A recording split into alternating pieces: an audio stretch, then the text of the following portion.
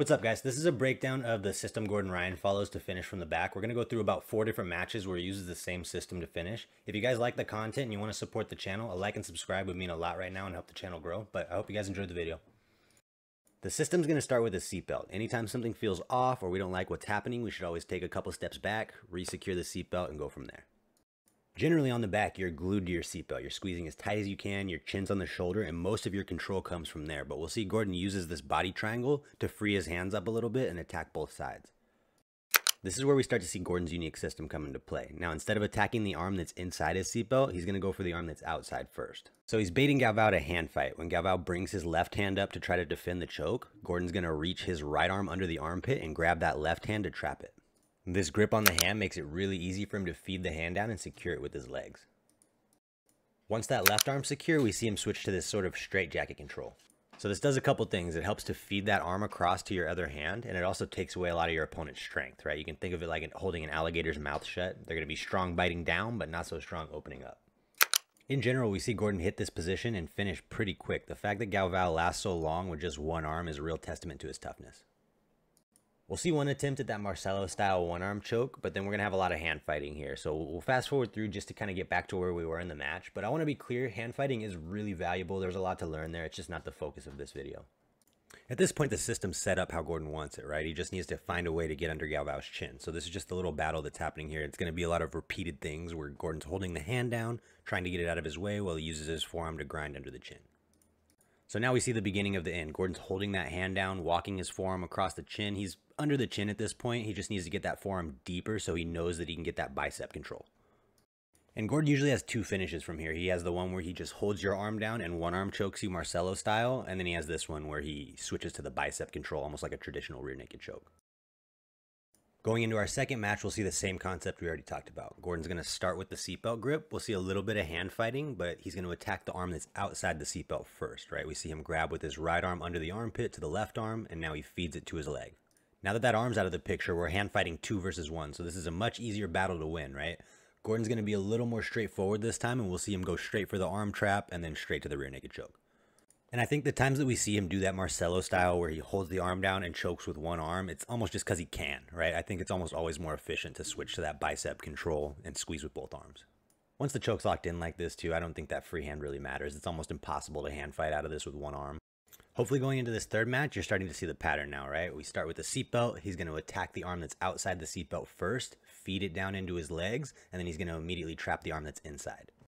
Now Gordon's free to hand fight two versus one. And again, it's just getting that arm out of your way enough to get far enough under his chin that you can connect to your bicep and finish. And that's what we see here.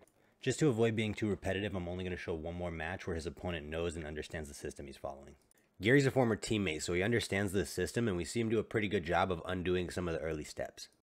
Gordon switches to this double under control. What he's doing here is trying to get access to that straight jacket control we talked about on both sides, right? He can reach under either side arm and grab that cross arm to set it up. To defend this position, you have to understand the offensive side. A lot of Gordon's grips come off of baits, where he's threatening a choke, getting you to bring your hand up. That's where he's grabbing your hand. He's threatening a grip, getting you to defend, and then he's switching the grip to the other hand. So you have to really understand what he's going for in order to get out of it. Pay attention to the way Gary's hand fighting because he's focused on the early layers of the system, right? He's focused on that initial grip, the seatbelt. Undoing those early parts is going to save you so much effort later on and you can apply that to most areas of jiu-jitsu but i think it's really easy to forget about these layers when we're in these super dominant positions sometimes it can seem like when you're on someone's back all you need to do is grab their neck and choke them but there's a system to every position Gordon finishes his matches so often it's easy to look past a lot of his control, but he's able to maintain these positions almost as long as he wants. So we see him spam a lot of these systems that we talked about until his opponent just slips up and misses one of those windows. Eventually, we get back to the system we've been talking about. So to recap, Gordon starts with the seatbelt. He's going to grip that arm that's outside the seatbelt and start to feed it down towards his legs. Once that arm's secure in the legs, the focus can shift to the other hand. Gordon can now fight this free hand with two arms and pin it down. Once that arm's pinned, you can usually just hold it down with one arm and then you have a free hand to work on the chin. Out of all the matches we went through, this is the only one we see Gordon use that one arm Marcelo style choke. Against a bigger, stronger opponent, he may have to let go of that arm trap so that he can reach his left arm all the way across to the bicep. But if the opponent's a little smaller, sometimes you can get away with just holding that arm down and doing the one arm choke. I think for the vast majority of people that aren't as strong as Gordon, it's going to be more beneficial to just do a regular rear naked choke and deal with whatever hand fighting they're going to do with that free hand. Gary turning to the right here is just as much damage control as he can do. Gordon has his right arm pinned, so he's not going to be able to turn left, so he's kind of forced to turn this way to try to get as much air as he can. I think with getting under the chin, consistency is key. You want them to feel like every time they move their chin a little bit, your hand sinks closer and closer and closer. Now that he's under the chin, this is where he has that choice to make. Does he keep that arm trapped and try to choke with one arm, or does he let it go and try to switch to his bicep for a traditional rear naked choke? My take there is that the rear naked choke is stronger squeeze wise, but anytime you have to let something go and switch position, you're opening up a big risk that your opponent moves. So if you are stronger than your opponent, it might be a good option. If not, I think it's better to switch to the rear naked choke.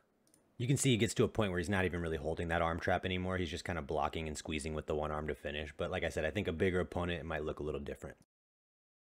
If you made it this far, thank you so much. I really appreciate the support. Remember, a like and subscribe helps a lot while we're trying to grow the channel. I'm going to try to put out as much content as I can. I'm still learning how to edit, and I want to make the best videos that I can. So as soon as the videos are done and I feel like they're exactly how I want them to be, I'm going to put them out. But thank you guys for watching.